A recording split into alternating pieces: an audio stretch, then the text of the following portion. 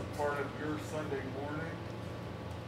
Yesterday, uh, there was uh, an event that took place that not all of us could be at, but I want to communicate to you that your spirit was felt there, and that was at George Scaff's celebration of life. Uh, we we had a wonderful time of family and friends uh, sharing during that celebration of life just how uh, how faithfully George was a follower of Jesus and made the gospel known uh, to his family, to his friends, to his colleagues, to the people that he took care of. And, uh, and one of the things that was expressed from Judy uh, uh, is just how much he loved First Presbyterian Church and the value that his life uh, received by being in relationship with you all. And so uh, I just want to communicate to you that uh, your presence, though all of us couldn't be there because of the protocol that we have to follow right now in gathering groups, uh, your presence was felt there.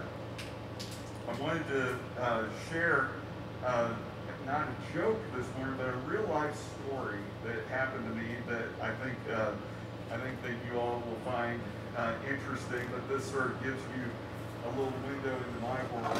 When I was graduating from seminary, uh, I had an opportunity to uh, interview with a church in Lubbock, Texas. That eventually I accepted a call there as associate pastor.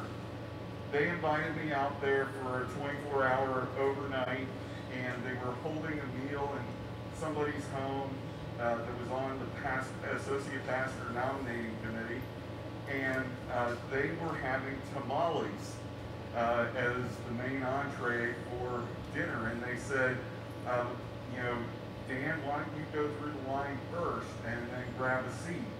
And I had never eaten tamales, okay? And so I grabbed uh, two or three tamales and they're still in the corn husks, correct? So, uh, so anyway, so I sat down and, um, you know, uh, I was sort of waiting to see how people were going to attack the tamale uh, with the corn husk around it. And, uh, but then somebody said, said, hey, you better eat those tamales now while they're hot, you know? And, and so I, I you know, I started cutting with knife and fork into the corn husk and put uh, corn husk and the tamale insides into uh, my mouth and you know was chewing and chewing and chewing and chewing. And you know finally uh, other people started sitting down and they started tearing off the husks and I was like oh that's what you have to do. And so um, I have become a big fan of tamales, especially now knowing I don't have to eat the corn husk. Hey, uh, we're going to be blessed today by having Mike Grassel uh, share uh, in the liturgy uh, with us. And so, Mike, please share the call to worship. Let us worship the eternal God, the source of love and life, who created us let us worship Jesus Christ, the risen one, who lives among us. Let us worship the Spirit, the holy fire, who renews us. To the one true God be praise in all times and places through the grace of Jesus Christ.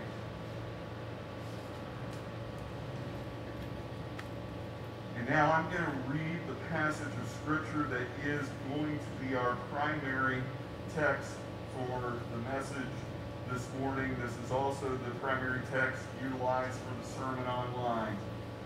Reading from Luke chapter 9, verses 18 through 27. One day Jesus left the crowds to pray alone. Only his disciples were with him, and he asked them, Who do people say I am? Well, they replied, some say John the Baptist, some say Elijah, and others say, You are one of the other ancient prophets risen from the dead. Then he asked them, But who do you say I am? Peter replied, You are the Messiah, sent from God. Jesus warned his disciples not to tell anyone who he was. The Son of Man must suffer many terrible things, he said. He will be rejected by the elders, the leading priests, and the teachers of religious law. He will be killed, but on the third day he will be raised from the dead. Then he said to the crowd, If any of you wants to be my follower, you must turn from your selfish ways. Take up your cross daily and follow me. If you try to hang on to your life, you will lose it. But if you give up your life for my sake, you will save it. And what do you benefit if you gain the whole world but are yourself lost or destroyed? If anyone is ashamed of me and my message, the Son of Man will be ashamed of that person when he returns in his glory and the glory of the Father and the holy angels. I tell you the truth. Some standing here right now will not die before they see the kingdom of God. Let us pray. Lord,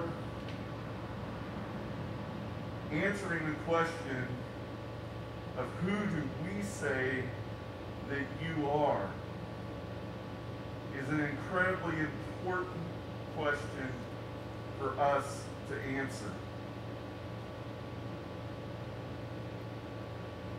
It makes a huge, huge impact on how we follow you. Do we follow you as the Lord and Savior sent by God? Or do we follow you as merely a great religious philosopher, great ethical teacher? Lord, it makes a difference with what we believe and who we say that we believe you are. Lord, I know that everybody here has a desire within their souls to be in relationship with God. It's a natural hunger and thirst that is within us. We pray, oh God, that we would recognize how that is possible by believing that Jesus is the Messiah who has been sent by God, by denying ourselves and taking up our cross and following you. Make that more and more a reality in our lives this day. We ask this in Jesus' name. Amen. At this time, we are going to hear a song that comes from the Brooklyn Tabernacle Choir, and it's called um, I Will Follow. Take up my cross and I will follow. It's got a, a, a little bit of a delay before it picks up, so there might be a little silence for about 10 to 20 seconds.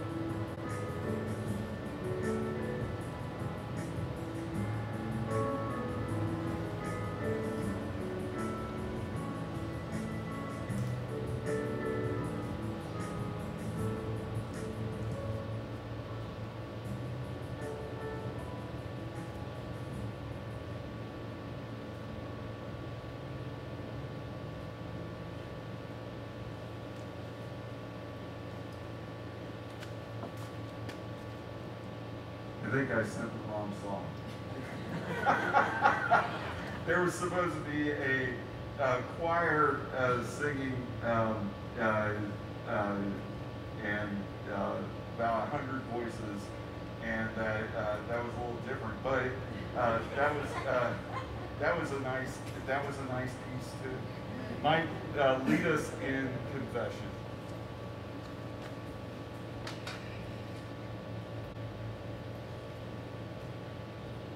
When we gather to praise God, we remember that we are people who have preferred our wills to His. Accepting His power to become new persons in Christ, let us confess our sin before God and one another. Have mercy on us, O God, according to your steadfast love. According to your abundant mercy, blot out our transgressions. Wash us thoroughly from our iniquity and cleanse us from our sin. For we know our transgressions and our sin is ever before us. Against you alone have we sinned and done what is evil in your sight, so that you are justified in your sentence and blameless when you pass judgment. You desire truth in the inward being. Therefore, teach us wisdom that dwells in our heart. Hide your face from our sins and blot out all our iniquities. Create in us a clean heart, O God, and put a new and bright spirit within us. Do not cast us from your presence, and do not take your Holy Spirit from us. In Jesus' name, amen. Now observe a moment of silence for us to confess quietly within our hearts the specific sins the Spirit has made known to us this morning.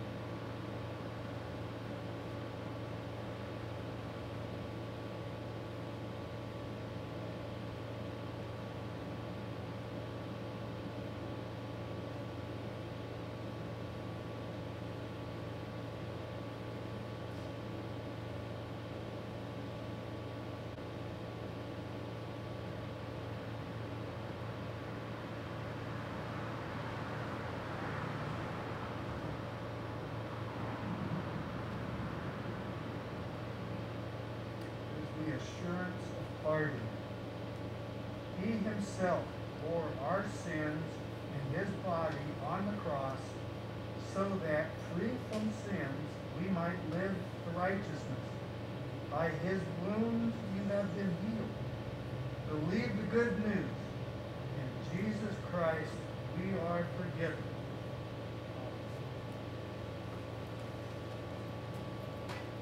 Thank you so much, Mike. I appreciate your help on that. Well, today, um, what I wanted to focus on for this time as a courtyard was on that verse where Jesus says to the crowd that is gathered around him, If any of you wants to be my follower, must turn from your selfish ways, or most versions it says you must deny yourself, take up your cross daily, and follow me. You know, when our lives are not headed on the same trail with Jesus, then it's impossible for us to follow him. We have to somehow get back on the same trail that he is traveling. It, it's impossible to follow someone if you decide to go another route. Even if you're veering off just a couple of degrees, you all won't be together and you won't end up at the same destination. And so when Jesus talks about the fact that you must turn from your selfish ways or you must deny yourself. He is talking about the idea of getting back on trail with Him.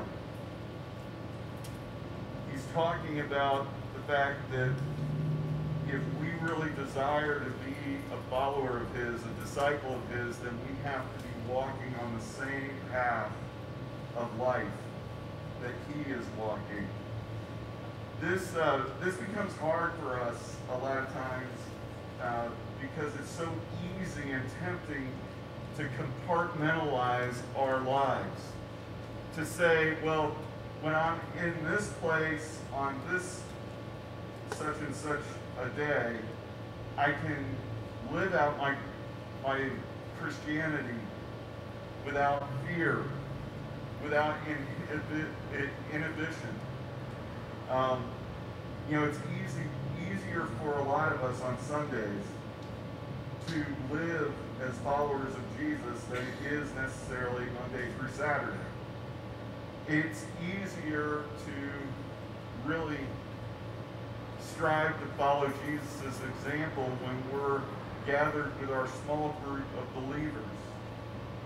But it becomes hard sometimes to live out being that follower of Jesus in the day-to-day living and encounters that we're having, not just with other believers, but with others in this world. It's easier to keep the fruit of the Spirit when we're gathered with other Christians. It's easier to love. It's easier to be patient. It's easier to be kind. It's easier to be faithful. But when we're with the world, sometimes we find that it's easier to behave selfishly or impatiently or to choose pleasure over joy. We also have developed habits in our lives for how we um, succeed or cope with life. Um, what do I mean by that? Well, sometimes as we have grown up, we have learned ways to succeed that that wouldn't necessarily be the way that Jesus would suggest we strive to succeed. Um, what do I mean by that? Recently, uh, Michael Jordan uh, and actually his whole Bulls team was featured in a documentary that you might have caught some episodes on ESPN. And in that documentary, one of the things that you learn about Michael Jordan is that if he was going to play at his best in his mind, he had to have some sort of personal vendetta on and off the court with the opponents he was playing. Um, so he, he, he, in his mind, tried to figure out a rationale for thinking that the opponents he was playing were enemies. They were not friends. They were not acquaintances. They were not people that he could really care about personally he had to have a desire to somehow want to, if you will, in basketball terms, humiliate them, destroy them. That was sort of what was one of the ways that he felt like he succeeded. I think we can all uh, understand that Jesus wouldn't necessarily, uh, if he were Michael Jordan's basketball coach, be supporting that sort of way about striving for success also in that video we find out some of the coping mechanisms that Michael had in his life to get away, to let his hair down, if you will, to get a break from the stress. Well, one of the things Michael loved to do to do that was gambling. Whether it was gambling on golf, whether it was gambling on cards, whether it was gambling at the casinos. And there were times in his life where that got him into other problems and difficulties. You see, Jesus is calling us, if we are to be his followers, to turn away from compartmentalizing our life with him. He's asking us to turn away from possibly utilizing worldly manners of success. He's asking us to turn away from utilizing worldly manners of coping with life. And he calls us to take up our cross daily. It's only in the Gospel of Luke that we're told we're to take up our cross daily. Matthew and Mark don't pick up on that word, but I love the fact that Luke picks up on that word. And when I think about the cross, I think about the idea that we are daily allowing the Holy Spirit to point out to us those sins in our lives that we need to nail to the cross, crucified with Jesus Christ. Not just for the covering of forgiveness, but also for the idea of leaving that sin behind.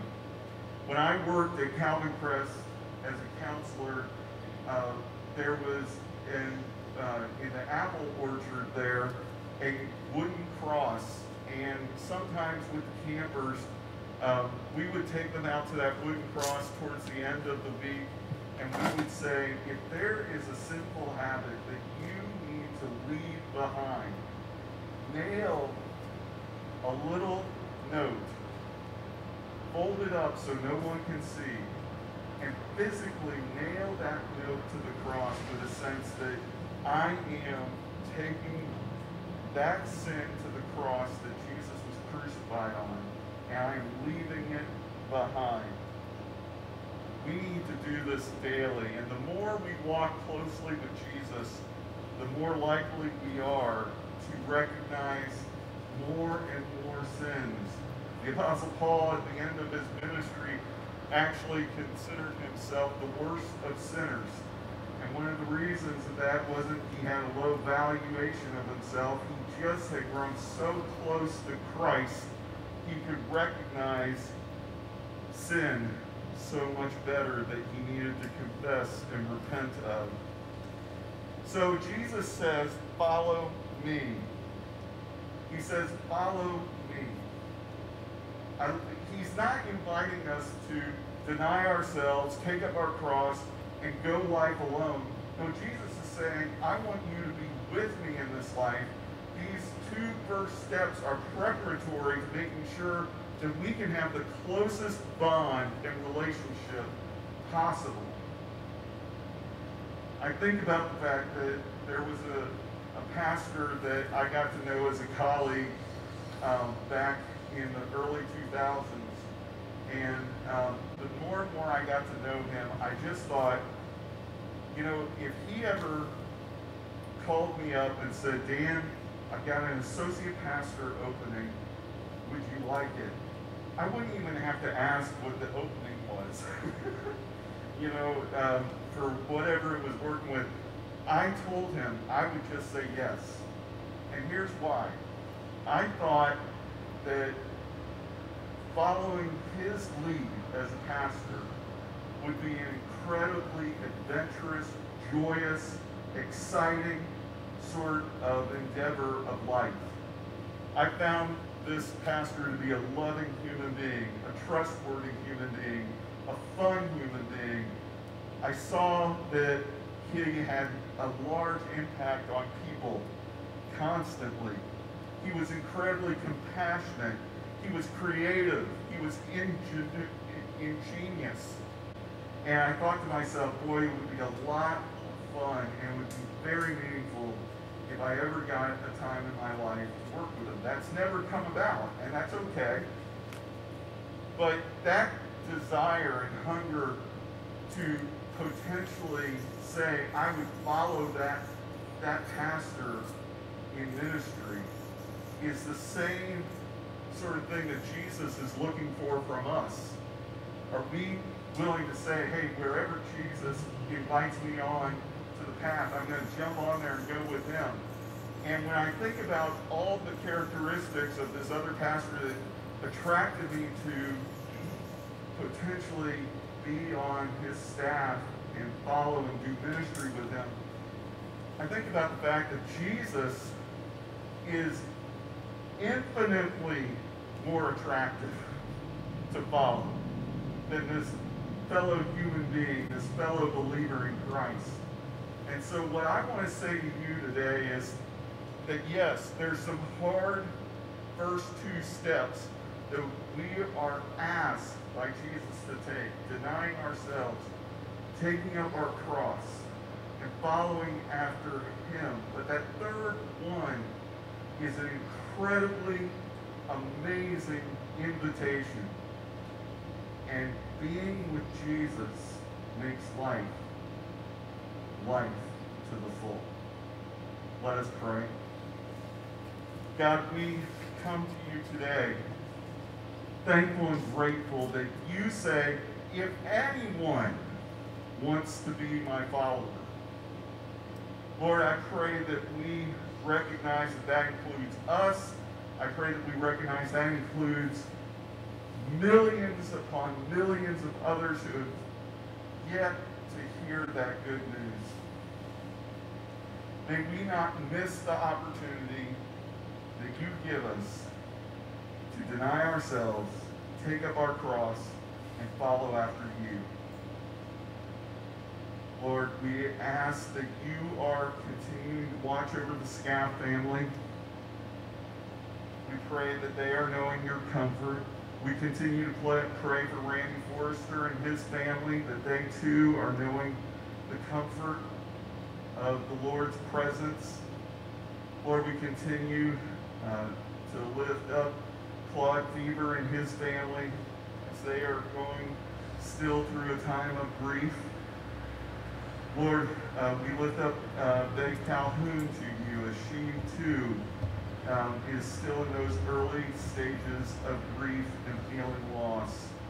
Lord, we pray that you are uh, at work this week uh, helping Tulare County to do a better and, and more effective job of mitigating the spread of this virus. We pray that you are healing those that are infected with it. We pray that you are helping the scientists across the world to find that vaccine that we need. We pray for our school district that you are helping teachers and students uh, and administrators across this school district, whether it's public or private schools, to best adjust to this distance learning that we have to do. In the midst of the difficulties, make it a meaningful and powerful and important time of life for our students, teachers, and administrators. We ask all this in the powerful name of Jesus. Amen. Now may you be strengthened by God's Spirit in your inner being and rooted and established in Christ's love, and you have more and more power with all the saints to grasp how high and wide and deep and far is the love of Christ, which surpasses knowledge, so that you may be filled with the fullness of God. Amen. Hey, enjoy some fellowship with each other before you uh, leave, and thank you so much for coming.